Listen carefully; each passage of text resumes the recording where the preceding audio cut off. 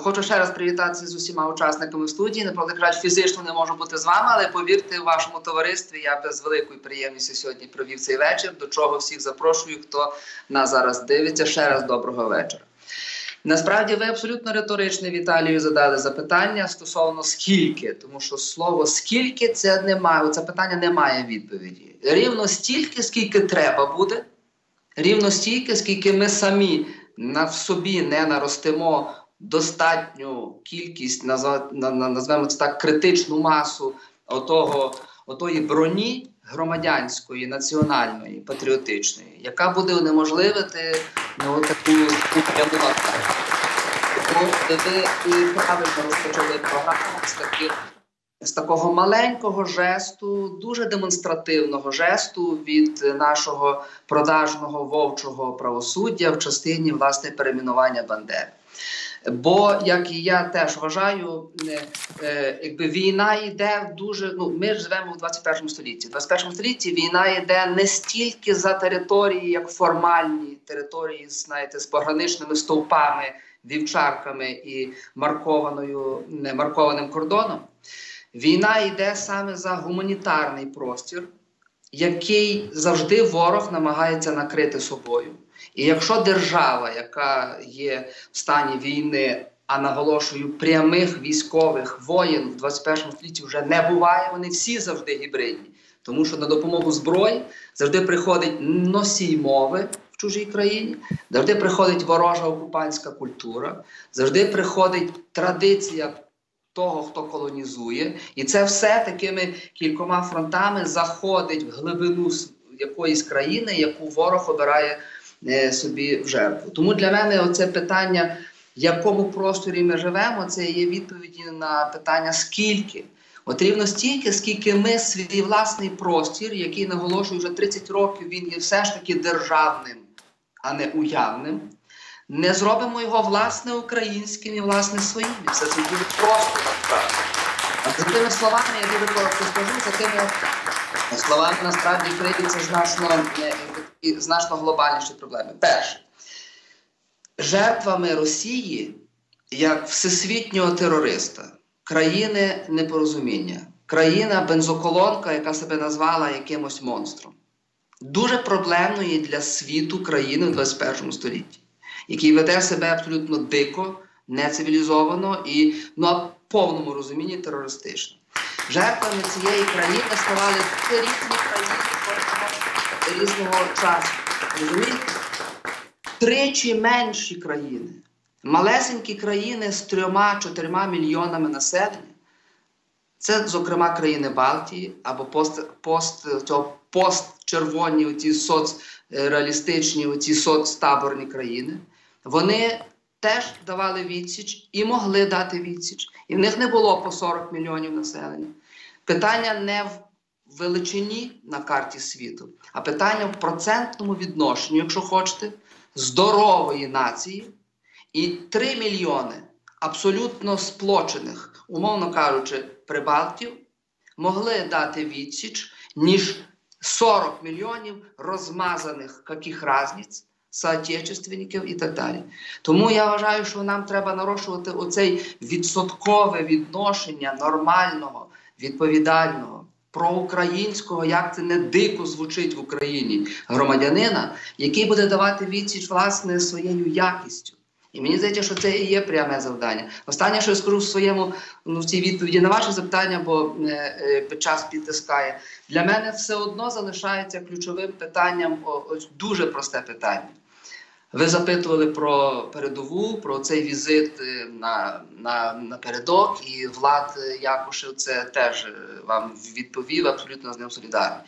А насправді все це опирається в просте питання: де зараз протікає фактична гуманітарна лінія фронту? І вона не зараз в зоні АТО.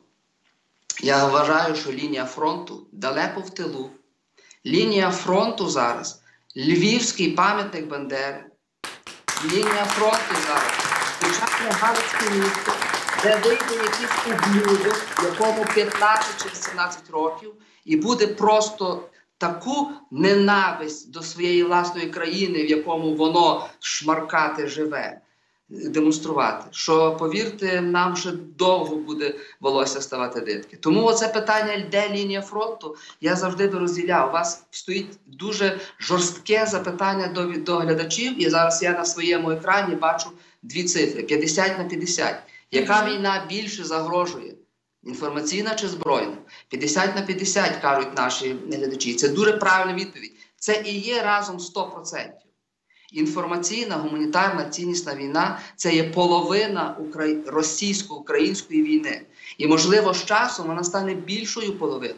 Тому що ворог прекрасно знає, що атакуючи в лоб, атакуючи через кордон, вони не прорвуться через те, що в нас є українська незалежна жертовна армія.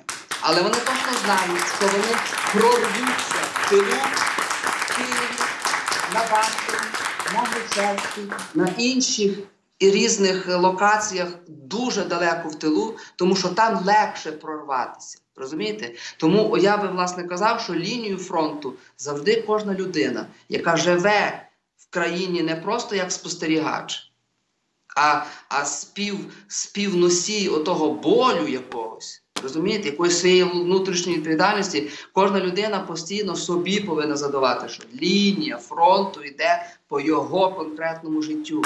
Далеко тилу, далеко від хреста. І на це треба навчити так люди сили, щоб там ішов опір.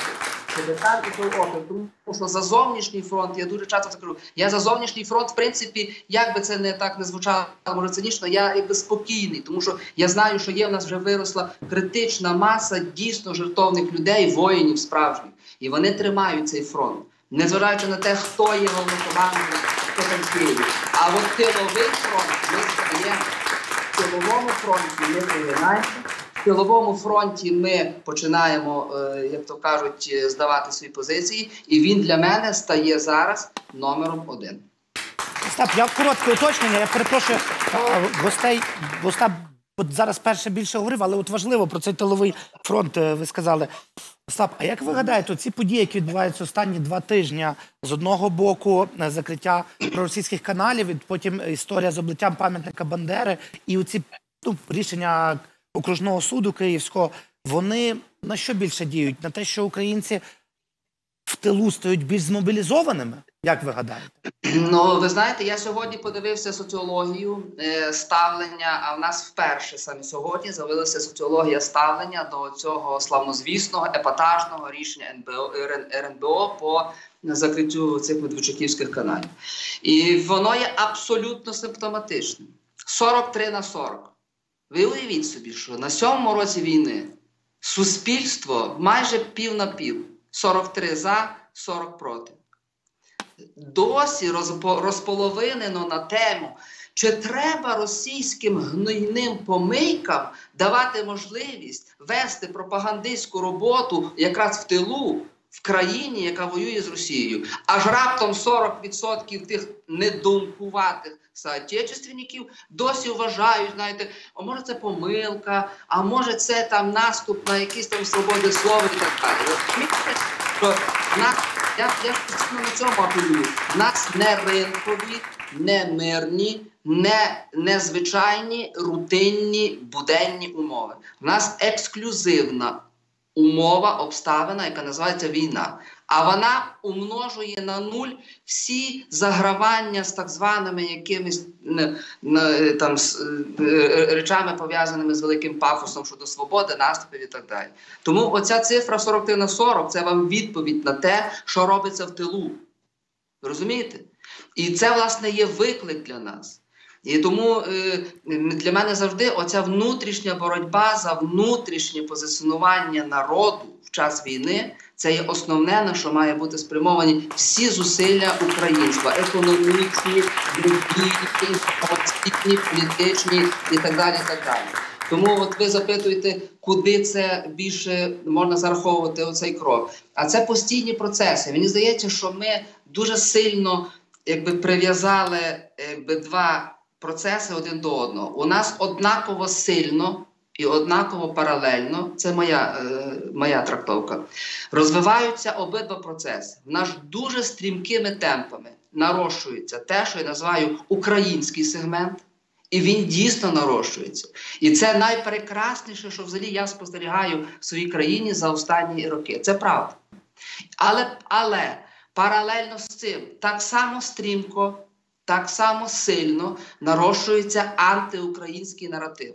Це два паралельні процеси, в які ми повинні просто розуміти. І от я виказав оцей другий процес максимально ламати максимально йому пхати палиці в колеса. І, власне, це і я називаю отим внутрішнім фронтом. Так? Тому що внутрішній фронт зараз, мені здається, навіть більш стає важливим, бо власне через нього всі реванші відбуваються. І Бандера це є перший крок. Завтра буде е, перегляд е, того самого рішення РНБО, і ніхто від того не застрахований. А післязавтра ще там щось вкинуть в Верховну Раду там е, з таких ціннісних питань, типу там е, мова, декомунізація, там чи ще що, ще що. Тобто вони мають в свої в своєму загашнику дуже багато таких козирів, які будуть підсилювати отой другий небезпечний процес, про який я казав. Оцей процес нарощення антиукраїнського україно-ненависницького тренду.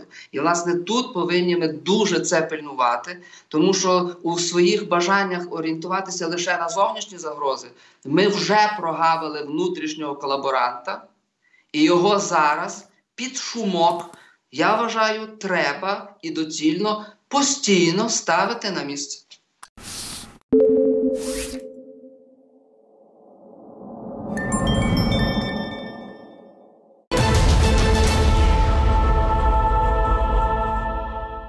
Я дійсно, я мало через той монітор до вас там ту студію не не Знаєте, є такий фільм жахів, знаєте, де така почвара з керниці вилазить і через екран вилазить. От я відчув себе такою почварою. А я перегорів. Я навіть не маю що сказати. Тому що, розумієте, це дуже живописно і убого, і просто плінтусно виглядає, коли питаннями національної безпеки раптом починають опікуватися ті люди, які за півтора року під сам факт існування нашої держави поставили Україну.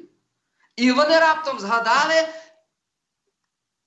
зараз тут має бути пі, що в нас є, виявляється, національна безпека. Я нагадую, що ми, дорогі зелені болотяні мухомори, живемо півтора роки в умовах вашого миру недоробленого, яким ви махали як короткою на цих виборах. І тепер, коли ваші ваші партії ноунеймів, партії без імен, без прізвищ, партії якихось весільних фотографів, танцюристів, всяких е, тих повій з борделів в, коротких спідницях, які ходять на Верховну Раду в дорогих кросовках від Шанель, розумієте, тому що в них видіть, дефіле і в них гарно виходить селфі на фоні е, ложі з журналістами. Так оці, коли партії, ці всі ваші проститутки ноунейми бігали півтора року по всій країні і казали, так нас же ж мир. Так ми ж сім років мріяли про мир. Бігали по всіх каналах і казали, ну подивіться, який миротворець. Він собі прокинув раптом талант офтальмолога. І він в очах Путіна, того кабана Кагебійського, він раптом побачив мир. І тут, вівторок, початок лютого, чоловік проснувся, протер свої очі офтальмологічні, і раптом він зрозумів, що є в нас, бачите, національна безпека. То в мене є велика порада. От під шумок цілях національної безпеки, цілях безпеки своєї держави, це не хотіли би ви закрити себе, закрити свою галіму партію фейкову, яка навіть не має членства по Україні, а має лише печатки, яка понабирала купу безпартійних, безвідповідальних мальчиків і дівочок, яким тільки треба красуватися на селфі, то забороніть в цілях без... національної безпеки насамперед себе як основне джерело національної безпеки в моїй країні. Це перше. Тепер дати казочки, тому що мене воно окуповано. Сидить казочки про то не різні. Та я знаю, що ми різні. Я об'їздив цілу Європу. Що, поляки всі однакові? Там що ходять біороботи, які розумієте, клонували на ксероксі? Чи чехи всі прям однакові? Чи може в Великій Британії кожен другий на одне лице? Та всі народи є різні, всі народи є перемішані, Всі народи мають свої історичні різні аспекти. Та зрештою, всі народи мають купа меншин набагато більше, до речі, ніж в нас, тому що в нас таке враження, що одна вибрана е, євразопська е, меншина.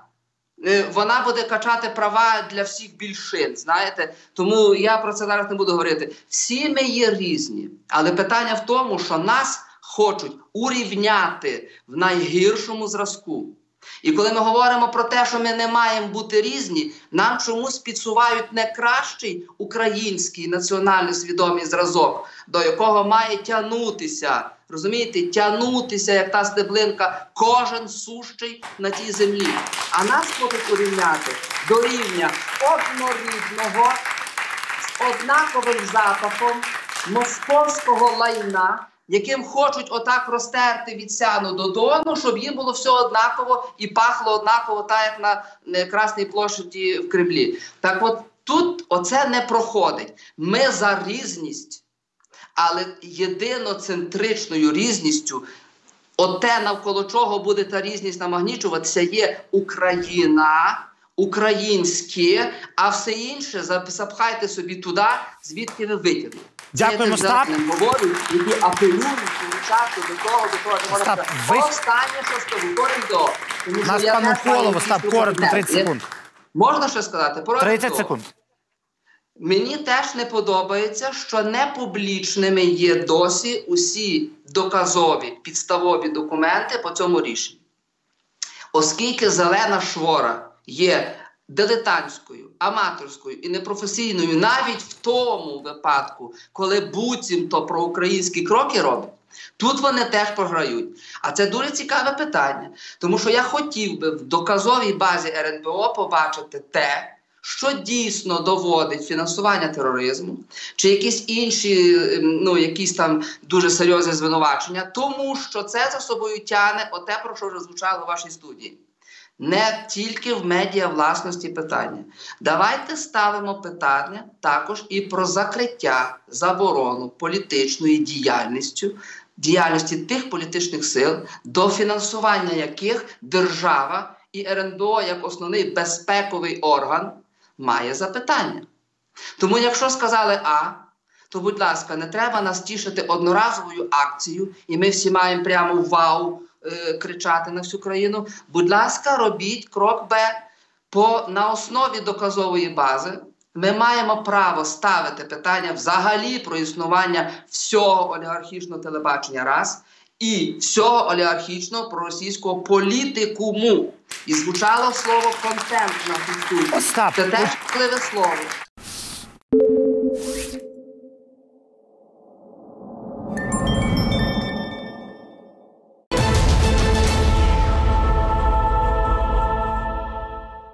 Я насправді протирі, протиріч не бачу. Я просто є я, я мовлю з позиції політично незаангажованої людини, і мені би це простіше говорити, але я розумію, чому Софія е, та, таку позицію займає. і Це абсолютно є поважна. Я мушу відповісти. Тут, Вона є- тут немає нічого спільного з моєю партією. Я- Я... в цій партії тільки тому, що ця Я конкретна розумію. людина на чолі партії б'ється за мою армію, за Я мою розумію. країну. Тому треба, власне, я би за те, аби ми єдналися, але не на основі вливання і, і знаєте, е, чмокання е, е, лідера, а на основі певного порядку денного, який має бути публічно виставлений перед тим, хто претендує на вітринну позицію від імені українства. І тому, коли ми говоримо про те, що треба єднатися, то треба єднатися не навколо знов лідера і прізвища, бо це ми проходили. А ми повинні єднатися навколо тих цінностей, які мають бути прописані. А це, зокрема, перше, ніякого олігархату в Україні, навіть якщо він синьо-жовтий, ніяких мільярдерів при владі, навіть якщо вони синьо-жовті, повна демонополізація, ніяких генпрокурорів, кумів, ніяких смотрящих за судом Грановських і ніяких інших. Тому я за об'єднання, але прізвище прибираємо на 10 місце.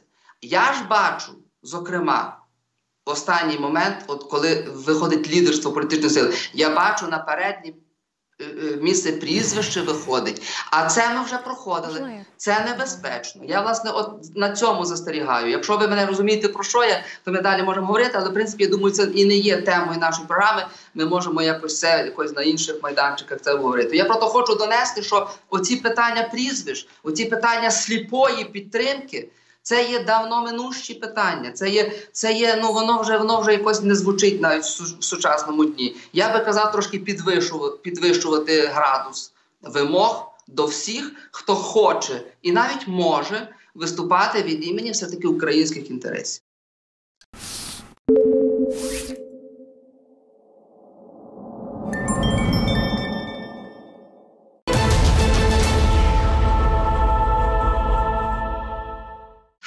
Прокоментувати? Ті договорнячки, от як бегемотиків е, з політичного нашого болотця, так? Я прокоментую. По разумковому.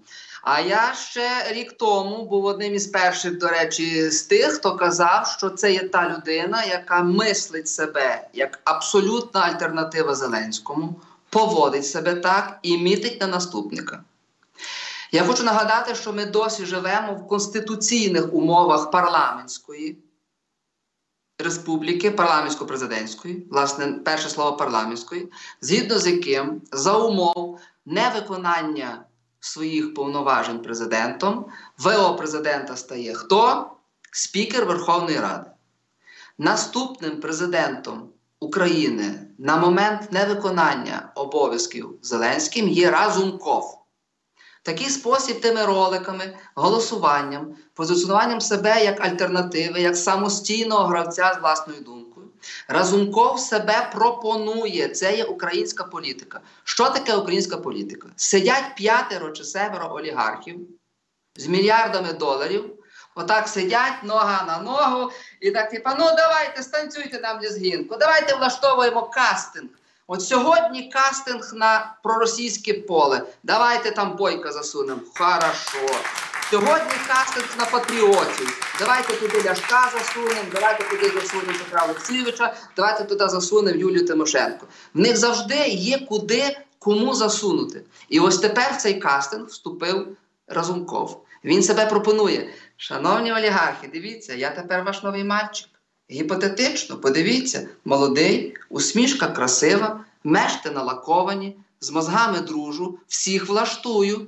А він є рівно сприйнятним для основних політичних гравців. І треба це також розуміти. Він в тому плані є набагато рівно сприйнятніший, ніж навіть Зеленський. Особливо зараз, коли він номінально побив горшки навіть з тими, з ким він ділив певне електоральне поле. Тому по Разумкову я би залишав питання відкритим. Це є варіант, який, я думаю, український, а не український, по суті, олігархат буде для себе залишати відкритим. Тому що коли прийде момент списувати Зеленського. А цей момент наближається з кожним місяцем. Ми це бачимо по фіасковій траєкторії падіння рейтингу, довіри і так далі. Оцей момент, коли треба буде списувати, можливо, буде розглядатися варіант парламентсько-президентської республіки з інститутом ВО президента. І цим ВО є разумком. Стосовно Порошенка, дуже коротко теж. Е, Я, я чесно кажучи, не дуже е, в курсах цієї заяви стосовно його прем'єрства. І, звичайно, якби ви мене вчора запитали, то я би вам тако знаєте, ха-ха-ха, посміявся в обличчя. Ну бо але це є Україна. Ми вже маємо прецеденти, коли два основні ідеологічні вороги на виборах завжди ділили цей пиріг. Це Ющенко і Янукович. Хіба ви могли би колись подумати, що після помаранчевої революції і трьох років не пройде, що при президенті Помаранчевому буде уряд синьо-білий? А було. І країна з того жила. І я хочу сказати, що для олігархату це є найсприятливіша конструкція, тому що вони звикли жити в умовах, я це називаю так політологічно олігархічний консенсус, коли вони між собою дипломатично і, і красиво ділять свої зони впливу, і на цьому базується стабільність країни, стабільність їхня, стабільність їхнього пограбунку. Не політологічно, це називається дуже просто. Це завжди є договорняк. Вони живуть в умовах договорняка, панове, більше 20 років, мінімум. І такий крупний гравець, як Порошенко, як Коломойський, як Новінський, як Фірташ, як Льовушкін. Це є все однаково крупні, сильні гравці отої старої олігархічної моделі. І якщо постане питання про недоторканність своєї території, про умовний розподіл своїх електоральних ніж, а за ними економічних інтересів, то я не виключаю варіантів дуже несподіваних союзів. Поки що це просто фантастика. Ми моделюємо ситуацію, але ми живемо в такій країні, де абсолютно все можливо. І повірте, навіть тоді з Ющенком це обґрунтовувалося без умов війни, це обґрунтовувалося стабільністю і примиренням. І навіть ця коаліція неприродня тоді називалася коаліція національного примирення. Зараз може бути щось схоже, і я дуже би застерігав ну, людей якось поверхнево до цього ставитися. За цим завжди буде стояти економічний. Грабіжницький інтерес основних політичних гравців з першої лінійки української політики. Я би казав про це завжди пам'ятати.